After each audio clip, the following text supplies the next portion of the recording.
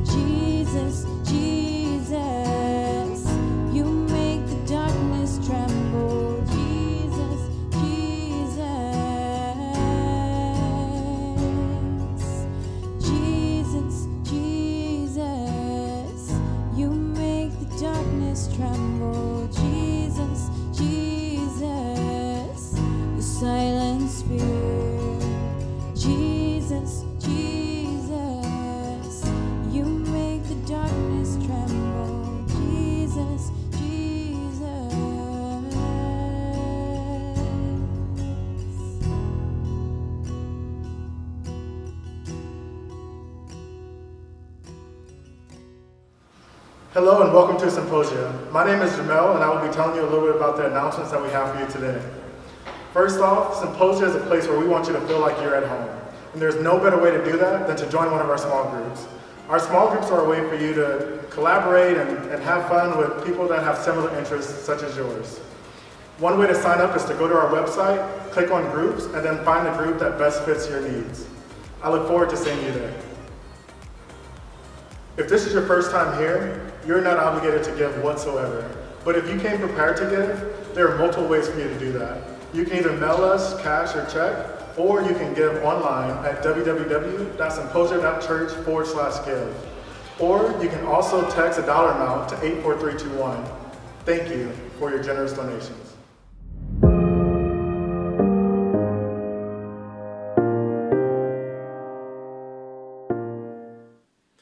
Morning, Symposia. I'm just so excited to be here, and I'm so excited to be able to share God's word with you today.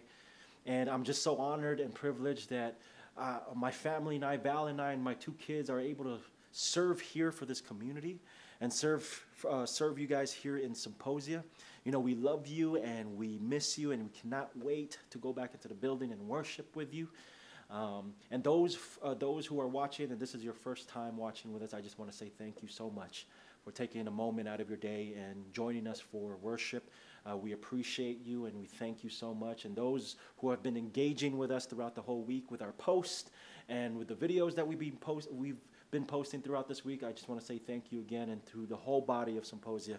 Uh, without you, um, this Symposia um, would not exist. And I just want to say thank you so much. Um, and and uh, we love you and we miss you. But as all of us have been experiencing during this time, we're in the middle of perhaps the most uh, difficult year uh, that we've faced in our, in our generation. We've experienced a global pandemic that, was, uh, that forced us into months and months of quarantine, and then to the horrific deaths of George Floyd, amongst others. And what we see now is people have been protesting, across the nation. People are frustrated, people are angry, and you may be feeling paralyzed or maybe even feeling numb to all of what's going on um, in our world, in our country alone. And there's this need for us to have this conversation in our nation, in our society about social injustices and racism. And there's so much change that needs to happen in this country. And I'm, I'm convinced that a lot of us that are watching this are yearning and our longing for change to happen. You know, I'm grateful for the context of conversation that people have been having. I'm grateful for the posts that I've been seeing because I'm learning a lot. I'm grateful for those who, who have taken the step of taking it from conversation and actually taking action. So today, what we're going to do is we're going to look at the book of First Corinthians, and we're going to, if you have your Bible or your digital Bible, turn to First Corinthians, and we're going to go to chapter 12. And we're going to start with verse 12. And today, what I wanted to talk about is the whole body of Christ. And the title of my talk um, is simply If One Suffers, We All Suffer. And I just felt the need to continue this conversation around the subject of racism and, and injustice, that we continue to have this conversation around this issue because this is a problem that we must confront. This is a problem that we have to change our mind about and change our perspective about. And this is a problem as a church we have to address. And I want to say that the church should be leading the way in addressing the problem of racism and injustice. And as a body of Christ, as we read in our passage today, if one suffers, all should feel the pain and the cries and the frustrations of our brothers and sisters. So if you have your Bible today, open, open it up to 1 Corinthians. And if you don't, it's okay. We're going to have it at the below of the screen here. And we're going to start with chapter 12, verse 12 it says, For just as the body is one as many members, and all the members of the body, though many, are one body, so it is with Christ. For in the one Spirit we're all baptized into one body, Jews or Greeks, slaves or free. And we're all made to drink of one Spirit. Indeed, the body does not consist of one member, but of many. If the foot would say, Because I'm not a hand, I do not belong to the body, that would not make it any less of part of the body. And if the ear would say, Because I, I, am not an eye, I do not belong to the body, that would not make it any less a part of the body. If the whole body were an eye, where would the hearing be? If the whole body were hearing, where would the sense of smell be? But as it is, God arranged the members in the body, each one of them as He chose. If all were a single member, where would the body be? As it is, there are many members, yet one body. The eye cannot say to the hand, I have no need of you nor again the head to the feet, I have no need of you. On the contrary, the members of the body that seem to be weak are, are indispensable. And those members of the body that we think less honorable, we clothe with greater honor. And our less respectable members are treated with greater respect, whereas our more respectable members do not need this. But God has so arranged the body, giving the greater honor to the inferior member, that there may be no dissension within the body, but the members may have the same care for one another. And this is where we're going to have this is where we're going to uh, um, concentrate uh, most of our talk on. Is if one member suffers, all suffer together with it. If one member is honored, all rejoice together with it. You know, we, we know as human beings we are naturally communal. But we also know on the other side of it that community is difficult. Community, having a community, a body of believers, just like our church plant, how challenging it can be. But you also know when the body of Christ is working in unison and is working together, it's this beautiful sight to see. It's this amazing thing that we see, and we're invited into the body of Christ that's been created by God and led by the Spirit. You know, even in the early churches, there were conflicts, there were challenges.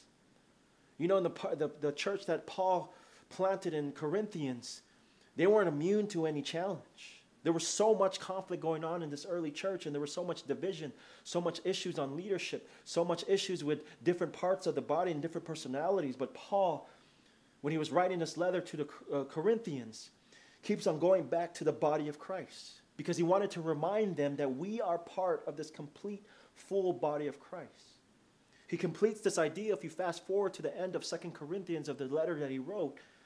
He writes that we need to be of the same mind. Now, it doesn't mean that we all have to think the same, act the same. It says we have to be of the one mind of Christ, to practice the divine mind.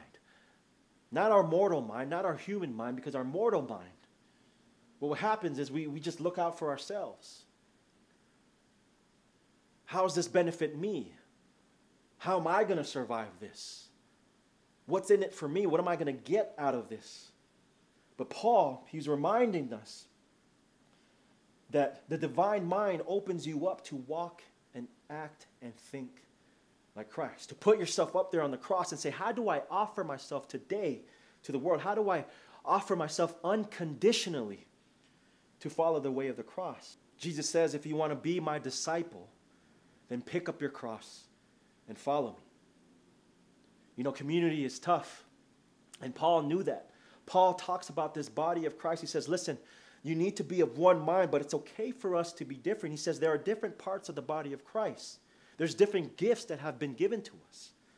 The arm is different from the leg, and the leg is different than the mouth, and the mouth is different than the eyes, and the eyes are different than the nose. But if the nose gets cut off, then we're all going to be hurting.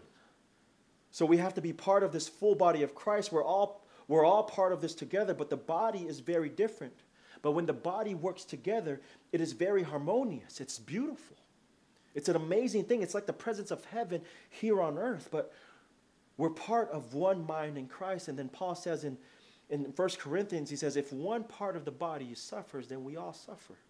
If one part of the body rejoices, then we all rejoice. You know, we're all called as a collectivist family of believers to feel one another's pain you know, we don't sectionalize it or compartmentalize it and put a box around Jesus, around our own experience, and say, well, this is my own, uh, my own experience. I do feel bad for what's going on over there, but it's not my experience. I don't know. I don't know that experience, so it's not really bothering me. But Paul's saying, if I got an issue over here in my own little faction of the church that I'm planting, but I hear that my brothers and sisters over there are hurting, then I'm hurting. If my brothers, sisters, brothers and sisters are suffering over there, then I'm suffering. If your heart breaks, then my heart breaks. Paul wants us to have empathy for one another, to have compassion for one another. Paul wants us to be reminded that if our brothers and sisters' hearts are breaking, then we all break. Because unity, unity leads to understanding. Unity leads to healing. The one mind of Christ, the same mind that's in me and you. That what Jesus said in Scripture, the same mind that my Father has is in me and it's in you, the divine mind. But you know, as Christians, we sometimes don't do a good job of seeing this as a collective, collectivist family. Seeing this whole body of Christ in, in a holistic way, as a whole body of Christ. You know, denominations are great. I love denominations. I love the denomination that we're in, the Evangelical Covenant Church. You know, I get it. We all worship God in different ways. We come from different backgrounds and different cultures, from different societies. And that's why we have different denominations. But when our, under, when our denomination or when our understanding of Jesus is saying, well, you know what, that's just too bad of what's going on over there. Um, but I'm not really feeling that over here in our community. Um, the best that we can do is, is our thoughts and prayers go out to you, but I have my own community that I, that I need to take care of. Paul says, no, that's not how the body of Christ works. And you're putting a pin, you're essentially putting an axe to the body of Christ and you're chopping it off. And you're separating yourself from the body of Christ where we cannot grow as a church as a whole and flourish. You know, there was a story that I came across. It was about a patient and a doctor. And this patient had a periodontal issue. And a periodontal issue is basically you have issues with your gums where flossing and brushing your teeth um, cannot solve the problem. You have to go see a periodontist. I, I think that's how you say it, a periodontist. And the periodontist has to go in there and do deep cleaning and do intense cleaning. And this patient has been really good for the last three years. This patient didn't go, hasn't had to go see a periodontist for a very long time. But the third year came up, and the, the, the periodontist called this patient and says, Hey, Mr. Patient, it's about that time again. Um, it looks like we have to come back. We have, you have to come back into the office, and we have to clean you up, do these intense cleaning, and we have to cut you up. And the patient was like, No, you don't have to do that. And the doctor was like, Why? Because The patient answered, because I don't, I don't want to come in. I'm not coming in. And he hangs up on the doctor. I'm not sure if that's true. I added that in there.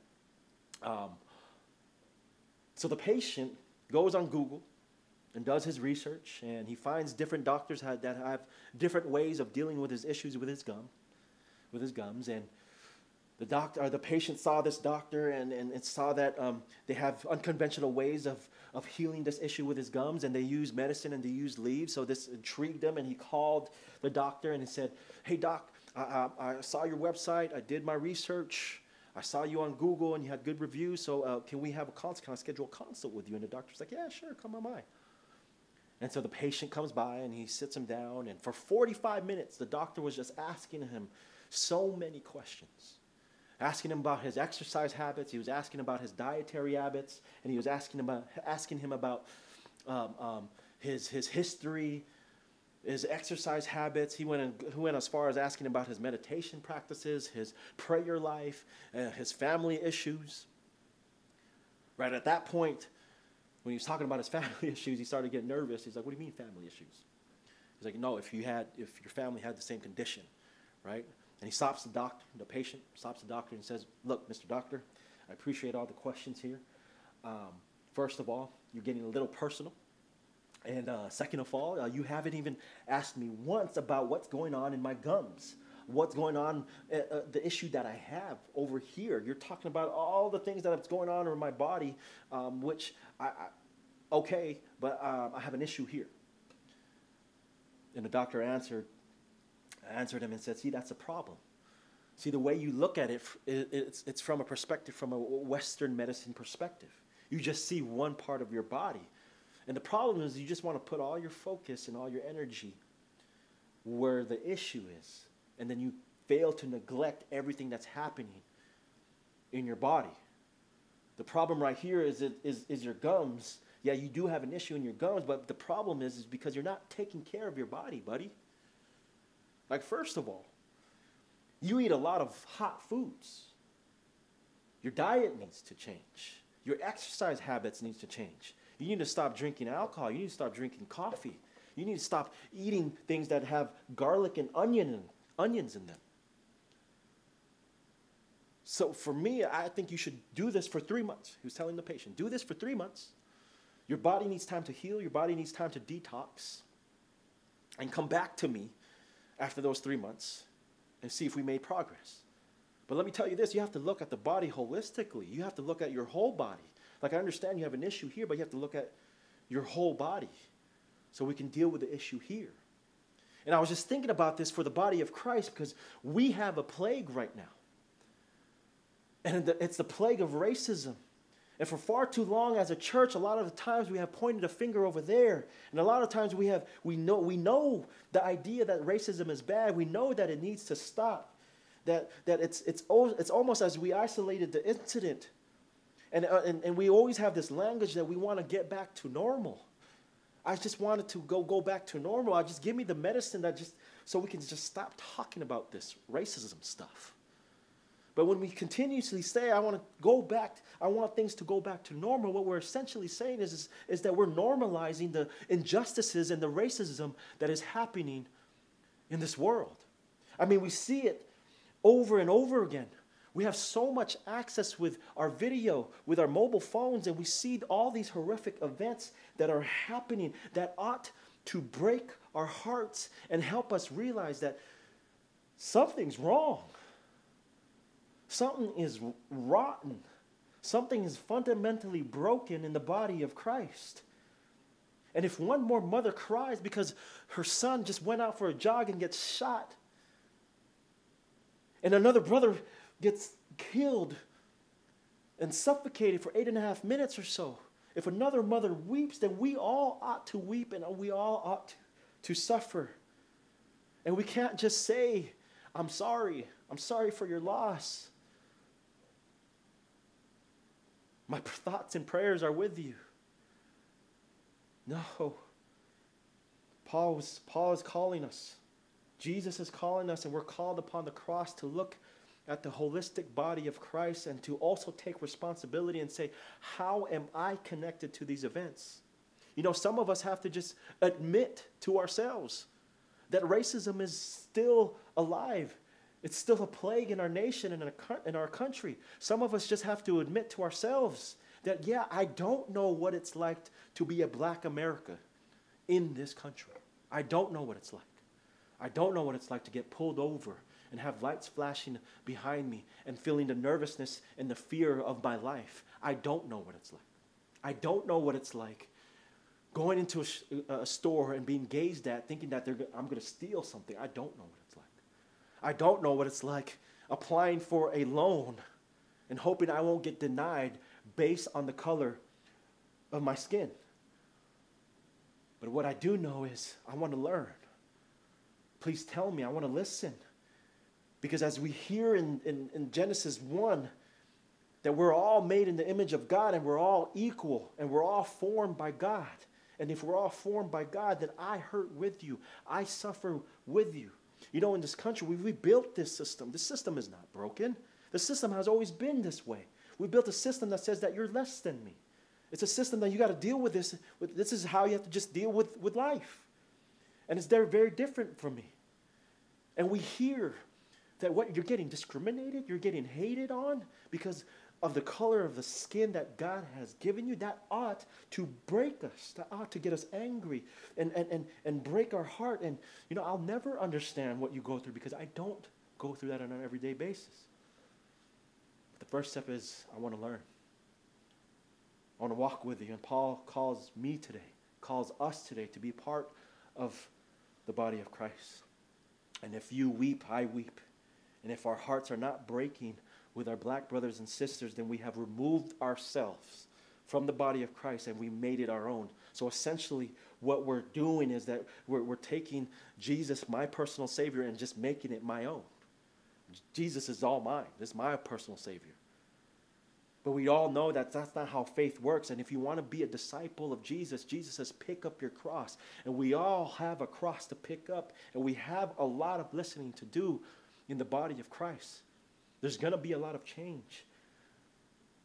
There's going to be a lot of, of change that's needed in this country, a lot of reform that's needed in this country, a lot of systematic change that's needed to change this country. And we're going to need the church to be all hands on deck because our black brothers and sisters, they're sick and tired and they're frustrated of crying out against injustices and racism and feeling like they're doing this alone.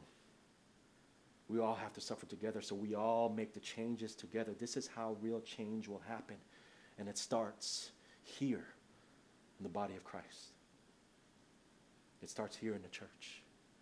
You know, I found this video there was a lady that was getting interviewed. Her name was Jackie Hill Perry, and she was a writer. She's a writer and she's a speaker, and she describes how churches, the body of Christ, can somehow uproot the problem of racism and injustices. And she addresses, addresses the hidden feelings around the subject of, of injustice and racism. So let's watch this video together. I think one way, I think there are many ways, I think there are a lot of ways, uh, but one in particular I would think is having a community and a body that is not silent about even the different subtle racist ways or biases that people can hold. Uh, what I mean by that is, I think sometimes people can say things flippantly or uh, just make little snarky remarks, whether it's about uh, a different race or someone in a in a different sociological position than they might be, and people just let it slide, or it's just oh that's just them, or that's just the culture they came from, or that, that's just how they grew up, or that, that's the things that their mothers used to say. But I, I think as a body and as a community, I think it's those little seeds that really work to harden our heart towards how we see people made in the image of God. And so I think one way that communities can work towards uprooting these kinds of things is simply calling sin sin and calling it out when you see it gently, lovingly, discern, with discernment. But I think it has, I think we have to talk about those little things before we even get to the big ones. And so having a community that is honest, having a community that is confronting, having a community that is uh, free to exhort and convict when needed and necessary, but also having an ear that is discerning to actually hear it in the conversations. And so being attentive, uh, but not in a judgmental, self righteous way, but in a, I want black people, I want white people, I want Hispanic, I want Asian. When they come into our body, I want them to feel safe. And I want them to know that they are welcome. And I want them to know that God loves them and loves us and that He has made us all in His image and for His glory. And so, yeah, a, a, community that is honest and willing to have those hard conversations and correct and confront sin when necessary.